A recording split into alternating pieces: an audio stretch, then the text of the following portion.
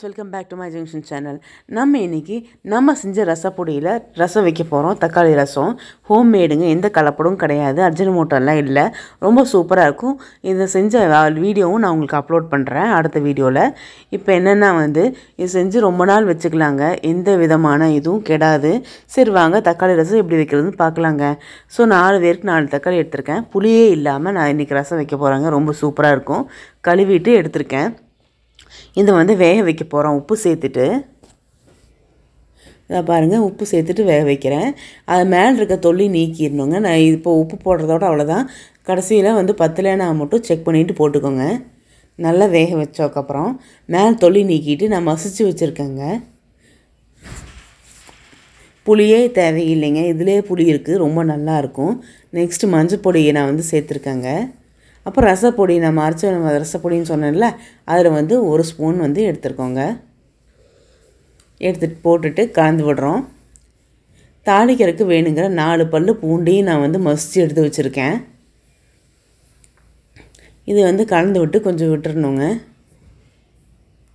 அதுக்கப்புறம் வந்து நம்ம தாளிக்க போகிறோம்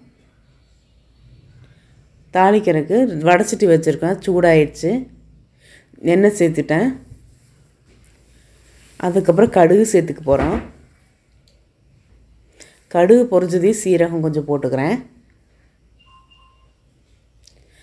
கடுகும் கொஞ்சம் ஃப்ரை ஆனதுக்கப்புறம் கருவேப்பிலை. ஃப்ரை அதுவும் ஃப்ரை ஆனோன்னா வெள்ளைப்பூண்டு மசி வச்சு வெள்ளை பூண்டு அப்புறம் பெருங்காயம் ஒரு சிட்டிக்கை ரொம்ப போட வேண்டாம் கொஞ்சமாக போட்டுக்கோங்க. வாசம் ரொம்ப சூப்பராக இருக்கும். ஃப்ரை பண்ணி விட்டுட்டு இந்த வெள்ளைப்பூண்டோட ஃப்ளேவர் நல்லபடியாக வெளியே வர வரைக்கும் கொஞ்சம் ஃப்ரை பண்ணலாங்க. வரமிளகா வேணுங்கிறவங்க போட்டுக்கலாம். ரசப்பொடியில் இருக்கனால நான் போடல. இப்போ நம்ம அந்த கலந்து விட்ட ரஸ் கலவையை இதுக்குள்ளார ஊற்றுறோங்க ஊற்றி ஒரு கலக்கு கலக்கி விட்டுறோம்.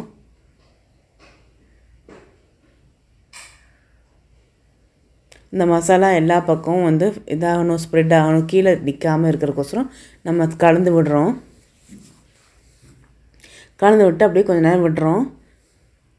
நுர கட்டின உடனே ஆஃப் பண்ணிடுங்க. தயவுசெய்து ரொம்ப கொதிக்க விடாதீங்க நல்லா இருக்காது. ஸோ புளியே இல்லாமல் தக்காளி ரசம் ரெடி ஆயிடுச்சுங்க. ரொம்ப சூப்பராக இருக்கும் டேஸ்ட்டாக இருக்கும். செஞ்சு பாருங்கள் சப்ஸ்கிரைப் பண்ணுங்கள் லைக் பண்ணுங்கள் ஷேர் பண்ணுங்கள் கமெண்ட் பண்ணுங்கள் தேங்க்ஸ் ஃபார் வாட்சிங் மை ஜங்ஷன் சேனல்